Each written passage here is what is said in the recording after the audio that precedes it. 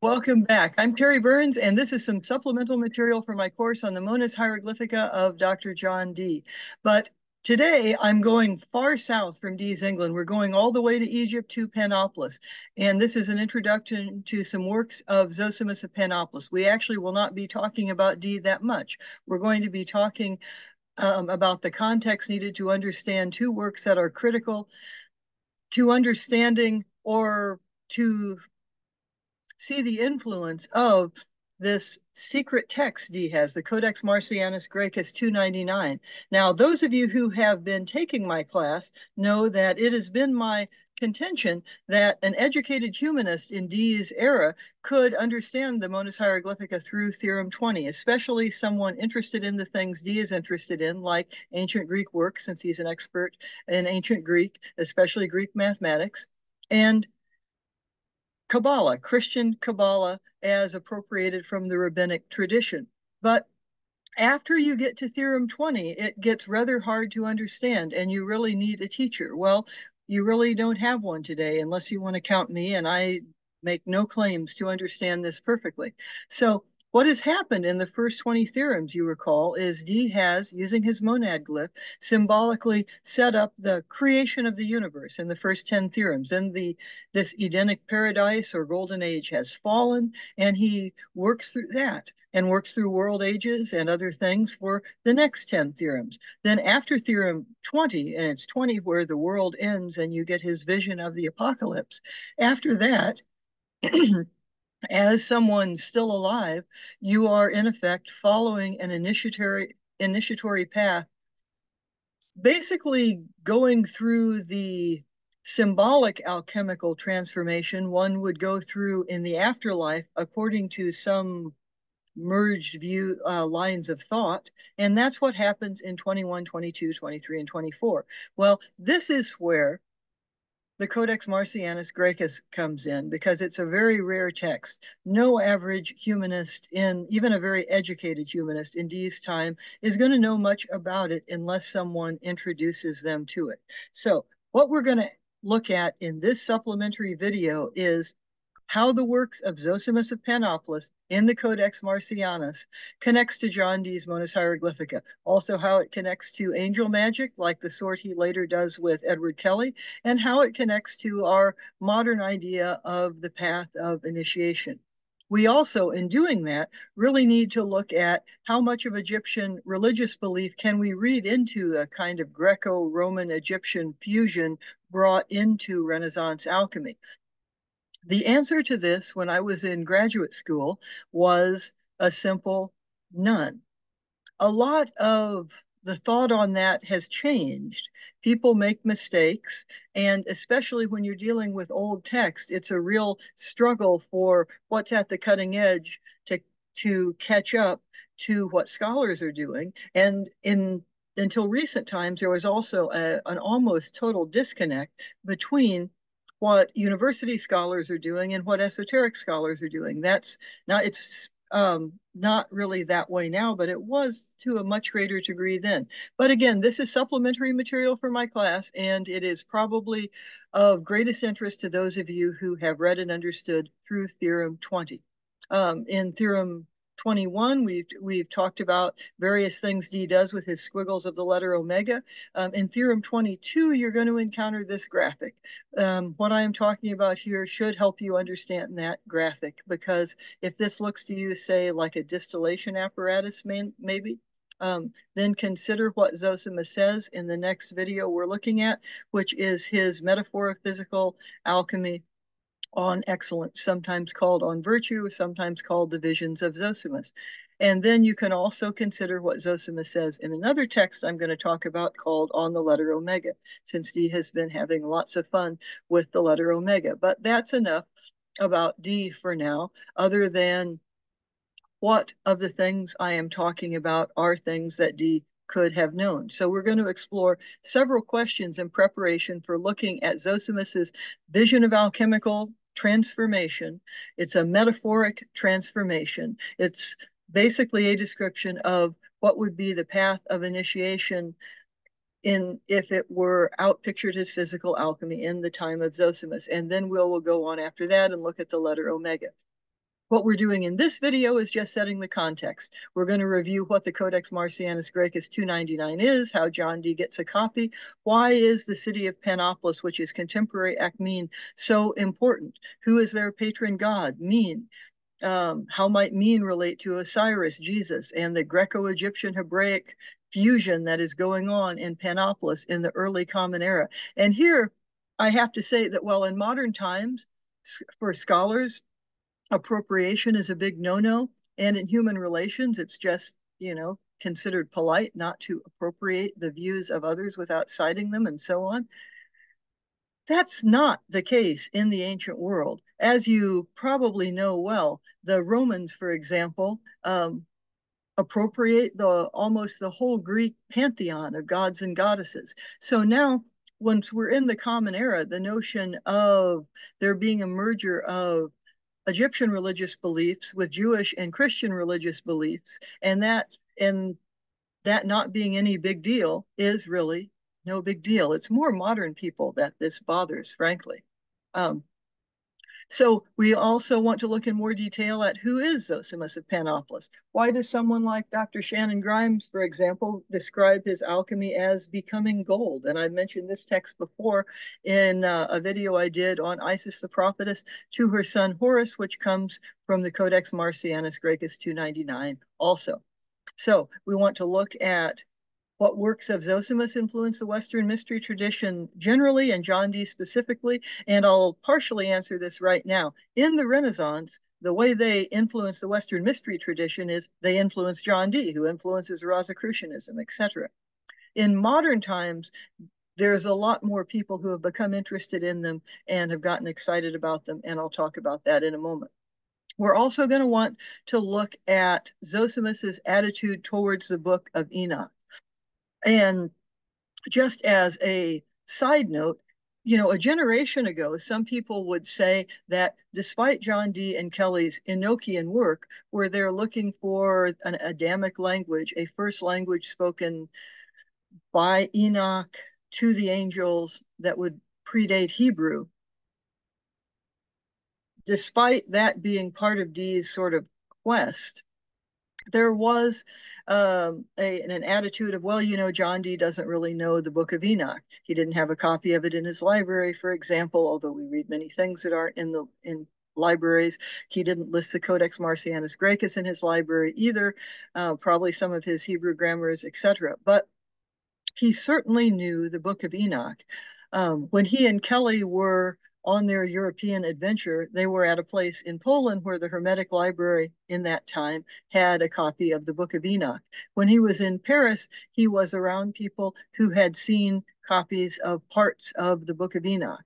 But he also has this Codex Marcianus Graecus 299, where Zosimus, for example, and I'll show you an example, clearly knows the Book of Enoch and also has some other very interesting ideas about Christian and Jewish scripture. All right. So some things about Codex Marcianus Graecus 299.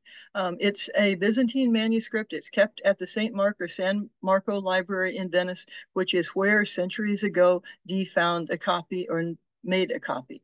Um, Cardinal Bessarion brought it there or brought it to the Republic of Venice in 1463 from Constantinople, contemporary Istanbul, the literal meeting place of Asia and Europe, East and West, on the Bosphorus there. And Cardinal Bessarion donates it to the Republic of Venice. It is the earliest surviving alchemical manuscript. That's important. It's the earliest surviving alchemical manuscript. It dates to the 10th and 11th centuries, but most of the work in there is much older because the work in there without exception that I'm aware of anyway, are all copies of copies. The work that we talked about, Isis the prophetess to her son Horus, was first to third century of the Common Era.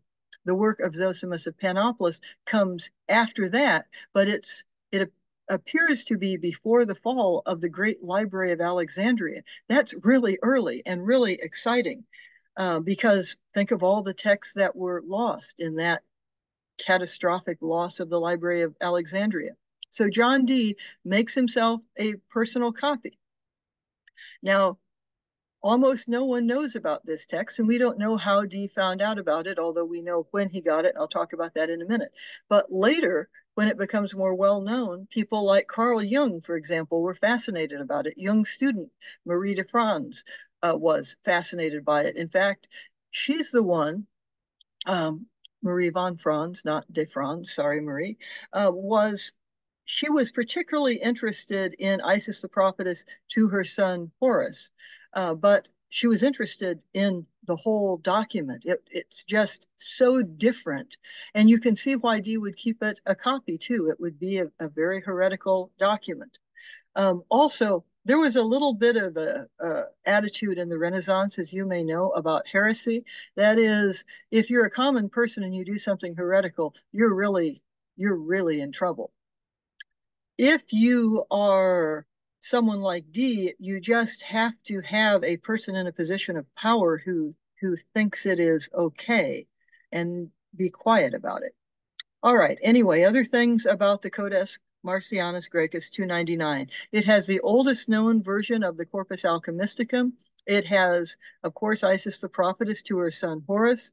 Um, it has 17 works by Zosimus of Panopolis. Now, shout out to one of my friends who caught an error I made in an earlier video. I said it was the only source of the works of Zosimus. It's not the only source. It's Dee's only source.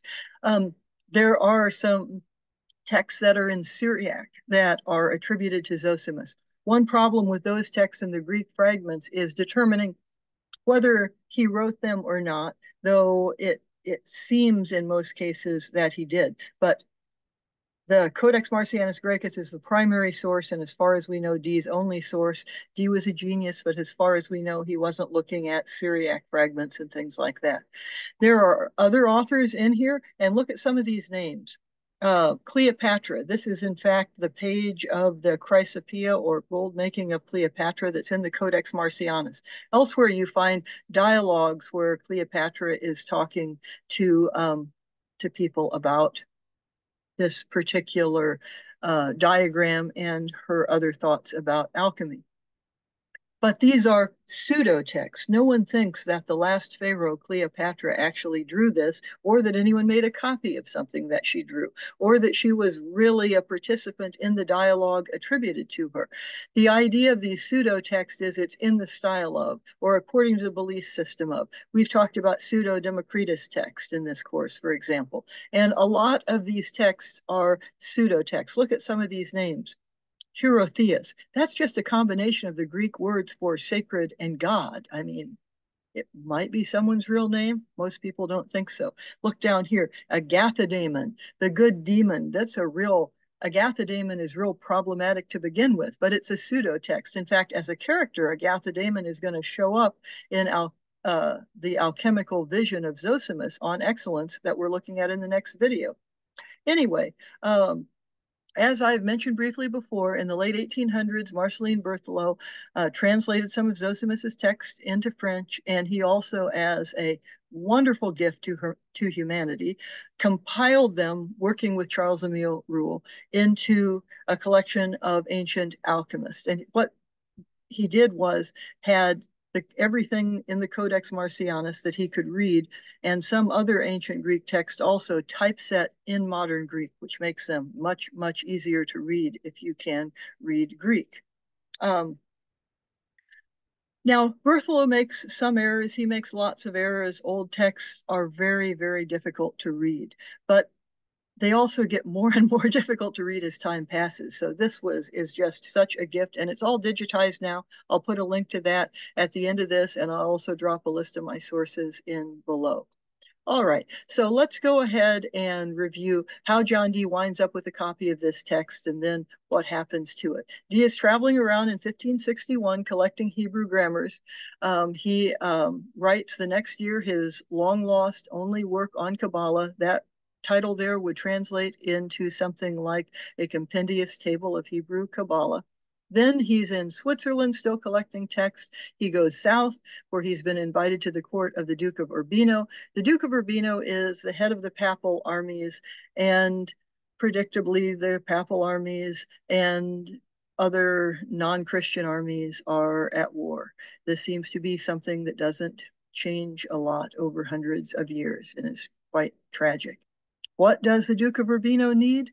Well, someone who is an expert in mathematics, someone who is an expert in optics, and we have discussed when looking at Dee's sort of hidden level of conic sections um, in the hieroglyphic monad about how something like uh, knowledge of parabolas is very useful for ballistics and optics and that kind of thing. Anyway, Dee is staying there, and that is the only time in his life when it would have been possible for him, as far as we know, to get to Venice and copy this text. We don't know where he stayed in Venice, how long he was there. It certainly took more than a couple days to copy the Codex Marcianus by hand into Greek. I mean, it's in Greek, but to copy that uh, into um, Dee's manuscript, which is Greek in Dee's hand. Um, so the only time that Dee could have been there and copied it was 15 63. That's the year right before he writes the Monas Hieroglyphica. It is my unprovable contention that part of the um, intellectual and spiritual ferment that led to producing the hieroglyphic monad and led Dee also to revise his 120 aphorisms that is the Propaedeumata Aphoristica was the combination of his interest in Christian Kabbalah on the one hand and then the Codex Marcianus on the other. Can't prove it, but boy, after studying the monad all these years, I can't come to much of a much other conclusion.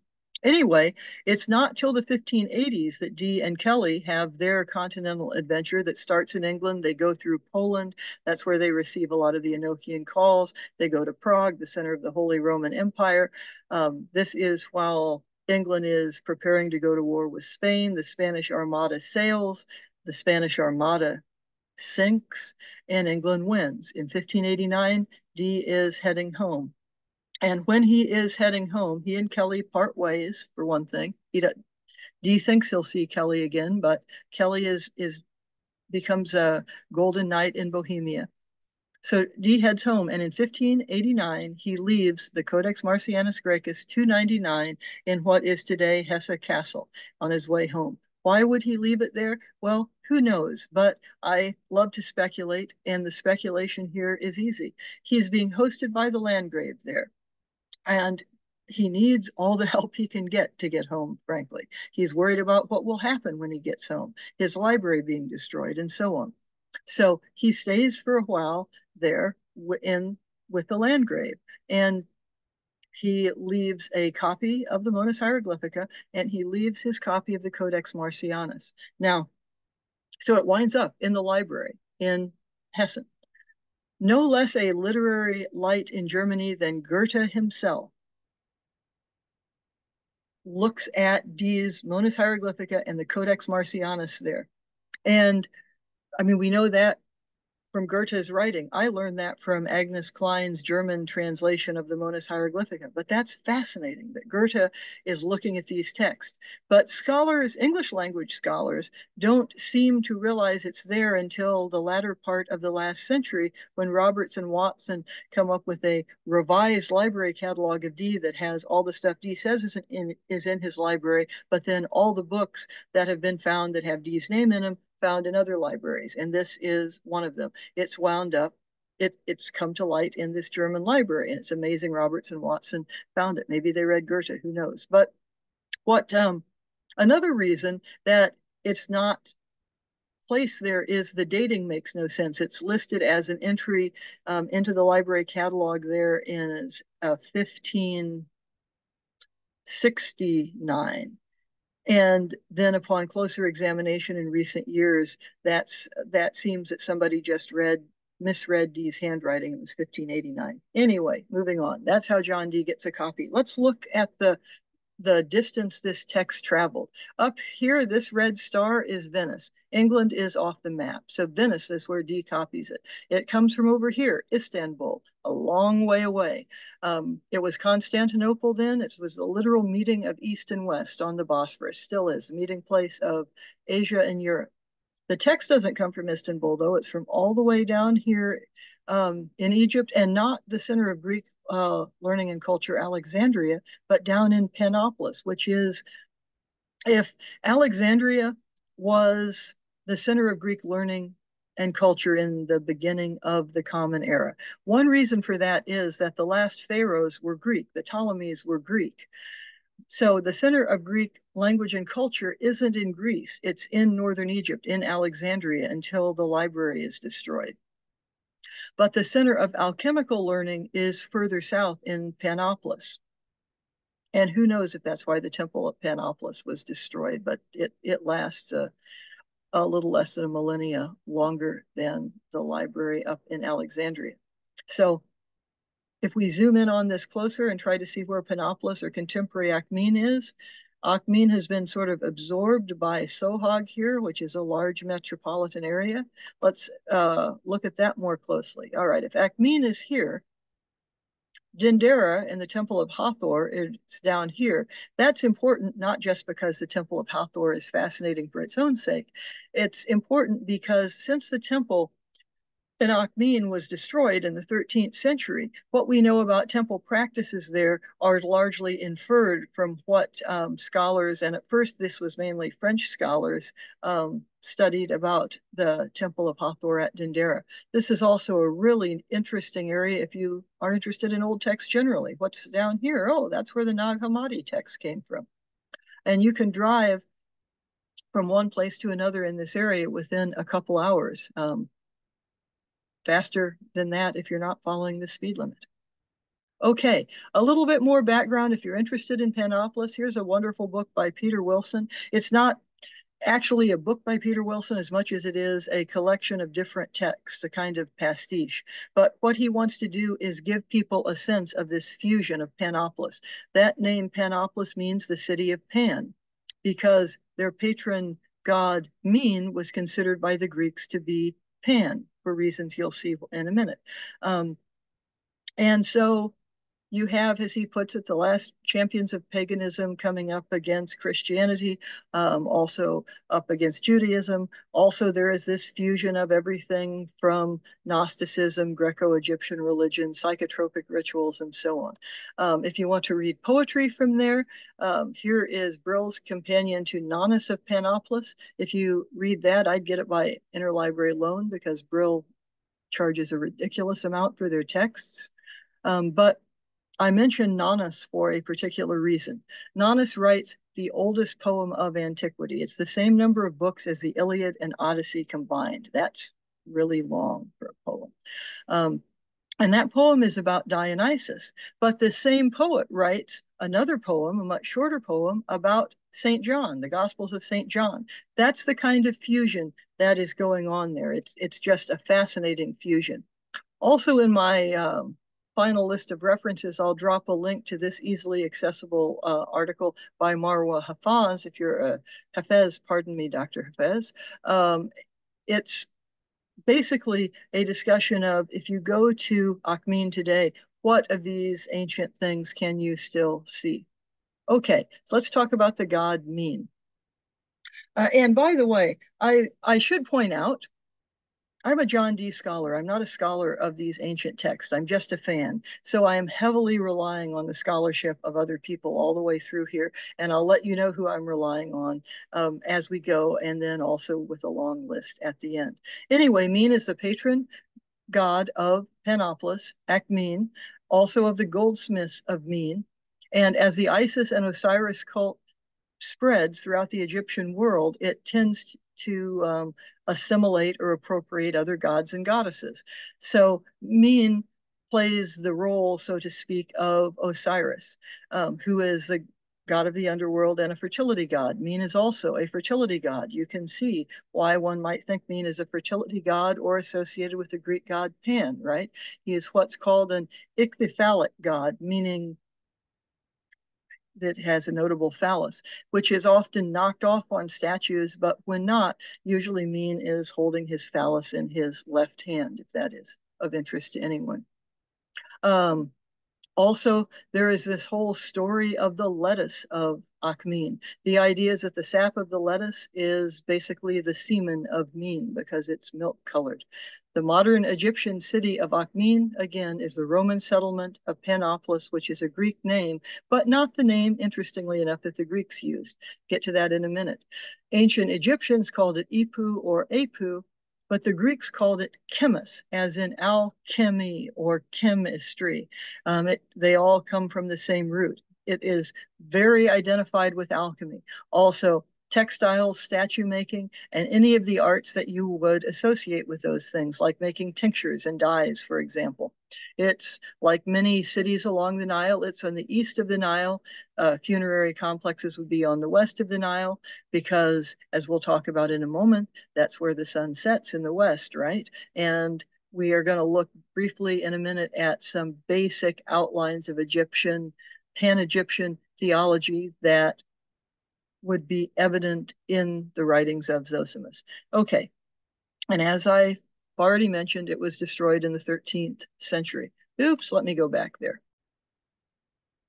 Okay, that's better. So eh, I wanted to point out that in Zosimus's era, there are still priests of the Egyptian religion as well as Christian and Jews. There is a whole discussion about whether Zosimus was Christian or Jewish. He's a priest of the Egyptian religion, it would seem. So I'm not that interested in that question because the way I think one might address it instead is noticing that in his writing, he's very respectful of all these religions and sometimes he treats them as exactly the same thing.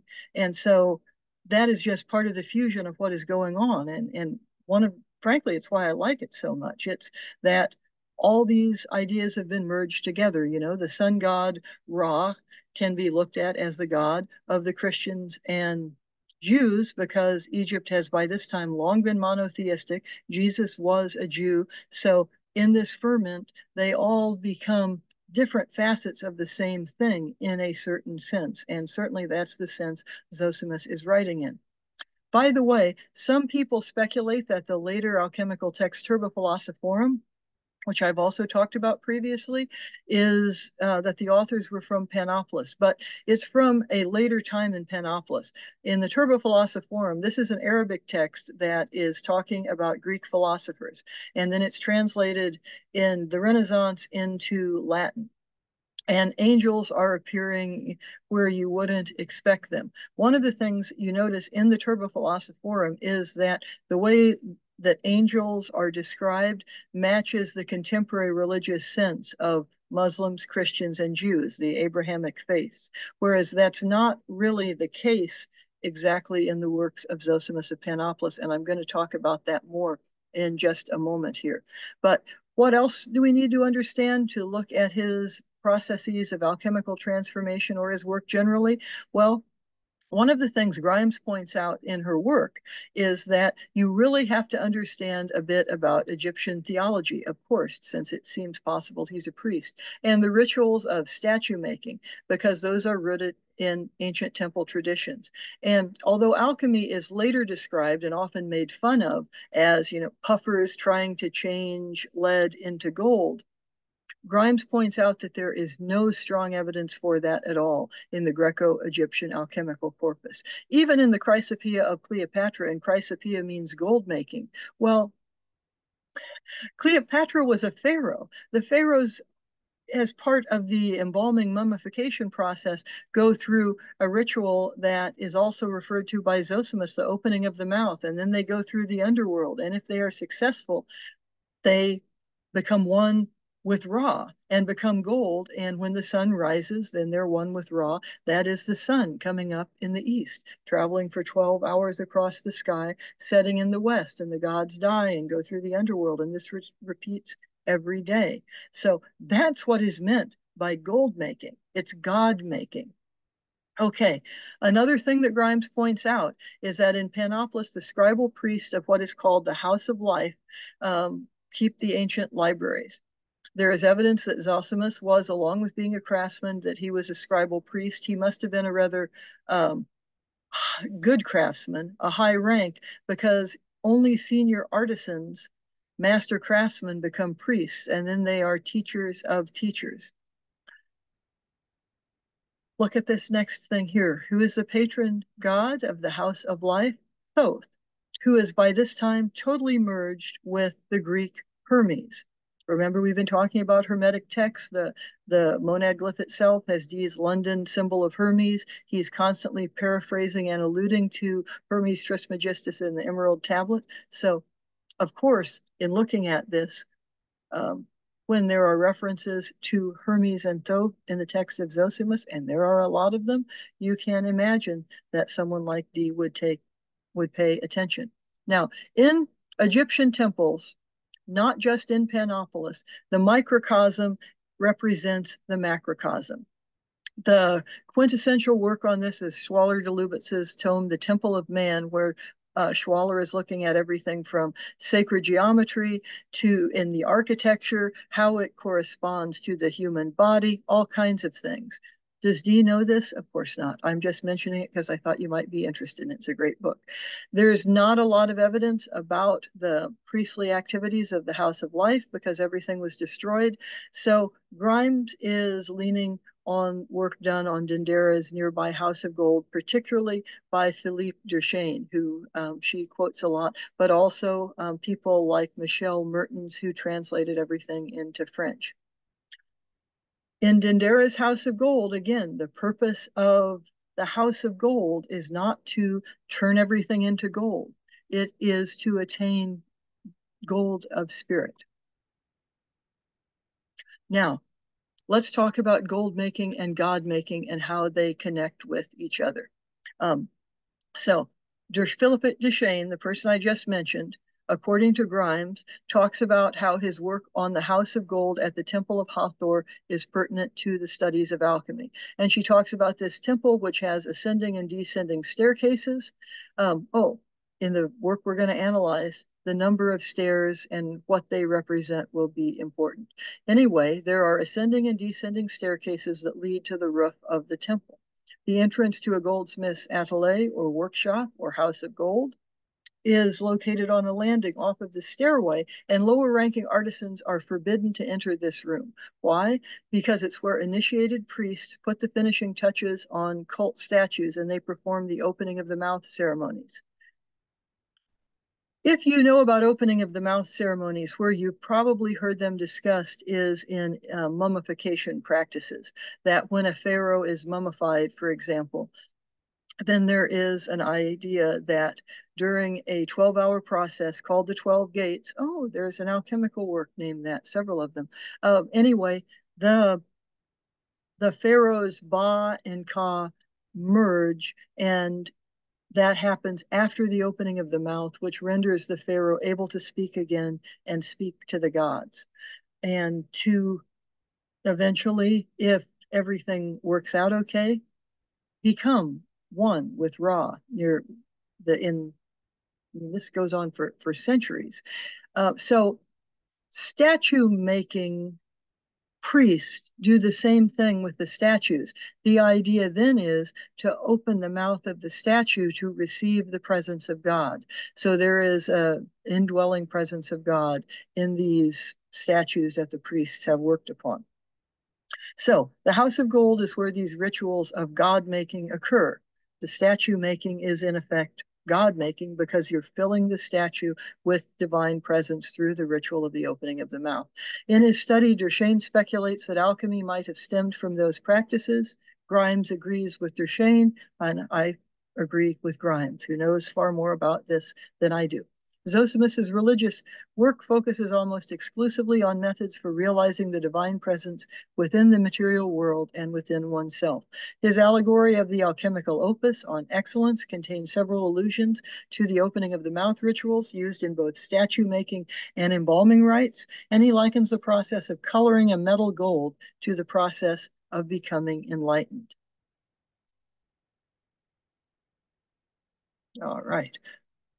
There we go.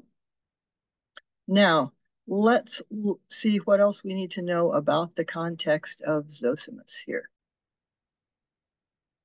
Well, one thing we need, I need to remind you of is that Zosimus writes after the Isis to her son Horus letter, likely before the fall of the Library of Alexandria. And how do we know that? That's because it places he refers to the library in present tense.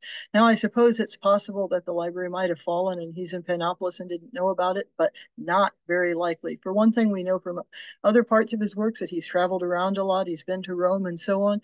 But also, the fall of the Library of Alexandria is such a culturally traumatic moment that word of it spreads really, really fast. So he is probably writing before the fall of that library since he refers to it in present tense. He talks about daemons as well as good and bad angels. Um, he has very opinionated ideas about both. King Solomon he portrays as a magician conjuring angels and angels and demons. Now, have you heard that before? If you've studied Solomonic magic at all, you've heard of that before. It's a common portrayal in antiquity.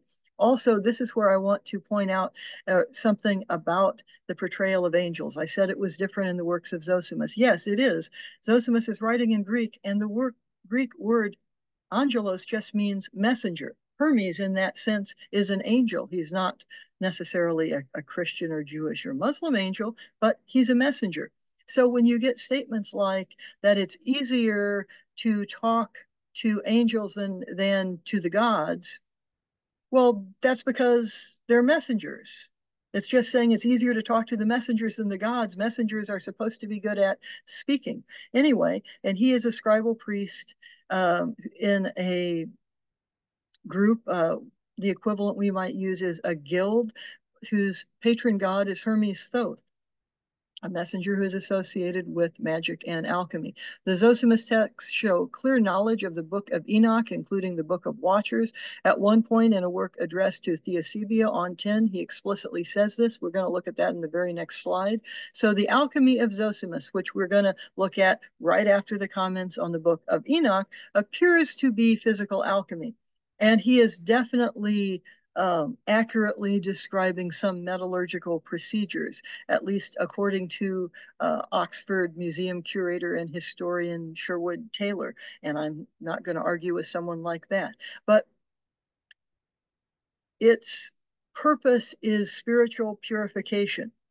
He's not interested in changing lead into gold, even though there are multiple metallurgical references. Now, you saw something like this, if you recall, the Isis the prophetess to her son Horus letter there, that after Isis is merging with this, um, what appears to be a, a Hebrew angel, Amnael, which is interesting in and of itself that the goddess is merging with this Hebrew archangel, then learning the secret of alchemy. Then she merges with her son in the afterlife, her son who used to be her husband, who she is, in effect, perhaps helping reincarnate.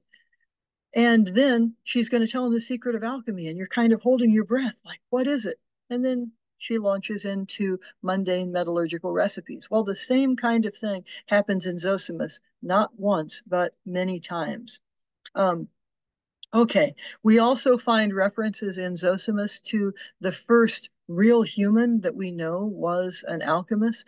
Maria, sometimes called Maria the Jewess, sometimes called Maria the Hebrew, sometimes called Maria the Prophetess, like Isis the Prophetess. Um, and if you want to know more about this fascinating person, I would recommend Raphael Patai's incredible book, The Jewish Alchemist, will, will tell you everything you want to know about that, although it's also the basis for a lot of scholarship since then. Okay, now let's talk about the Book of Enoch. Here, just for some eye candy, is uh, the third leaf of one that is uh, at the University of Michigan and part of the Book of Enoch. But here is one of the things that Zosimus says to Theosebia in a work called On 10. Theosebia, by the way, he writes lots of letters to. He refers to her as a sister. It's pretty clear he doesn't mean biological sister. It's as if they are brother and sister in some group of priests. And so anyway, this is what Zosimus says on your screen there. The holy writings, madam, say that there is a race of daemons who have intercourse with women and lead them. Hermes also mentions them in his book on natural things, and the entire book offers a meaning, both manifest and hidden. This work of Hermes, sadly, is lost. Um, Zosimus refers to a lot of works of Hermes that are lost. it's not out of the question that even though they're pseudo Hermes, that they probably existed because remember Hermes is the patron god of the of the scribes. So Hermes mentions it in these terms. The ancient and divine books say that certain angels were taken with passion for women. They descended to earth and taught them all the works of nature. It is about them these angels and demons or daemons that our book says that those who became proud were driven from heaven because they had taught to men all things evil which do not serve the soul. Scriptures also say that from them the giants were born. So the story is that the fallen angels but remember zosimus is just is reading angels as messengers. And the angels basically rape human women but then they teach them things like sorcery, spells, how to use plants for medicine, how to conjure with the sun, moon, planets, and stars. They teach them metallurgy, jewelry making, music, how to make things we'd associate with alchemy, like tinctures, dyes, cosmetics, how to use particular precious stones, all kinds of things like that. And this might or might not be why in these early CE Greco-Egyptian alchemical text, you see so many women. Isis is an alchemist, Cleopatra is an alchemist, and the first real human alchemist is Maria. And Zosimus is here writing to his sister, Theosebia. His attitude towards these angels is really ambiguous. As Grimes argues in more detail in her book, he seems to prefer Amnael to the angels of the book of Enoch. Well, that's nice. I mean, rape is a horrible thing. Many of the alchemists he refers to, like I said, are women. In fact, he really refers to more women than men in these texts that we have, or it seems that way to me. Okay, so some very basic things about Egyptian beliefs. These are super basic, but without knowing them, a lot of what we're talking about will not make sense. So remember, in New Kingdom Egyptian thought, the gods create a new world every day, as I've already said. The sun's journey from rising in the east and setting in the west is a birth, death, and rebirth of Ra, the sun god and the sun itself. Funerary complexes tend to be on the west side of the Nile because that's where the sun goes down and the gods die. Also, Cardinal directions are much easier to determine the closer you are to the equator. This is very near the equator. The sun is also very bright in the desert. And Egypt um, at that time is essentially desert with this north-south strip, which is the Nile, and all of the, the, fer the fertility brought by the Nile. So the sun comes up in the morning in the east. It's blindingly bright the sky turns red, then gold. I mean, it, it's it's easy to see how this symbolism directly connects to the physical world around you. It sets in the west as the sun again turns the sky red. Okay, so that is something that you need to keep in mind. What you have here on the screen are some pictures of Ra on the solar bark on the daily voyage across the sky. These are just public domain Wikipedia uh, pictures, by the way. I, um, and down here, you see Ra going through the underworld, the subterranean Nile, um, traveling at night, preparing to be reborn. You can also see from these pictures on the screen how gods assimilate one another in this time period. In that lower left picture, you have the ram-headed version of Ra. Over here, you have Ra Harakte, a combined, a combination of Horus and Ra. And um, I've already talked about how Min assimilates the function of Osiris, who after death becomes Horus and is the guide through the underworld um, in, and that is depicted on the walls of the the tombs of the pharaohs. So the 12 gates of the afterlife, the Amduat, that which is the underworld, is written on many pharaohs' tombs. I'm not jumping into the whole argument about whether the tomb is more than a tomb. I mean, you can have the tomb be more than a tomb, but this is verifiably on the walls of many pharaohs' tombs. It tells the story of the sun god Ra from the time when the sun sets in the west and rises in the east. The dead pharaoh takes this same journey, ultimately to become one with Ra and live forever. The 12 gates take 12 hours. It's preceded by a ceremony I've already mentioned called the opening of the mouth. After that, um, there is a voyage on the subterranean Nile. There are things that you may have learned about elsewhere, maybe even partaken in rituals representing or reenacting this, like um, a battle with the serpent Apep, or questions by the 42 assessors, having the heart weighed by Maat, and it has to be light as a feather. And if all of those things happen, one continues to the temple of Osiris. And then eventually, as and sometimes it's called the golden scarab, comes up in the east, the Pharaoh merges with Ra and becomes the morning sun. I mean, it's beautiful. And we talked about back in Theorem 18 how the Egyptians tended to equate that golden scarab with Jesus. That's the solution to understanding the riddle in Theorem 18 of the hieroglyphic monad is you have to make the scarab Jesus. All right, what else um, do we want to say about this? I think we will just go on for now. Oh, I know what I wanted to say about this all of these things don't require the reading of hieroglyphs. No, people in Dee's time couldn't read hieroglyphs, and when everyone was really excited that someone was explaining them, I'm thinking of the hieroglyphica of Horapollo in this sense. Horapollo uh, claimed to be a Coptic priest from the sixth or seventh centuries and is explaining, say, what the Eye of Ra means, or or different hieroglyphs like that. And it's it's funny reading now, but we all know it's wrong. Europeans could not read Egyptian hieroglyphs until the Rosetta Stone. That's a couple centuries, three centuries actually after Dee. So no, no one can read hieroglyphs in Europe in Dee's time or before. And it's it's really questionable whether they could in the time of Zosimus, Horapollo is is coming a couple centuries after Zosimus. But people still know the stories. And not only that, the stories are written in other languages, like in Hieratic text or in Syriac or in Greek.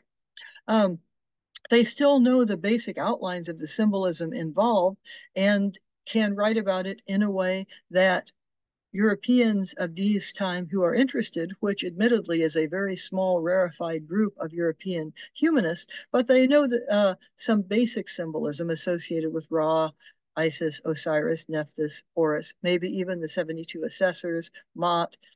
Scribal priests copy the sacred stories. So not knowing these basic things I'm talking about here would be kind of like, well, there are a lot of Christians who don't read the Bible, who, who can't read it or who just don't.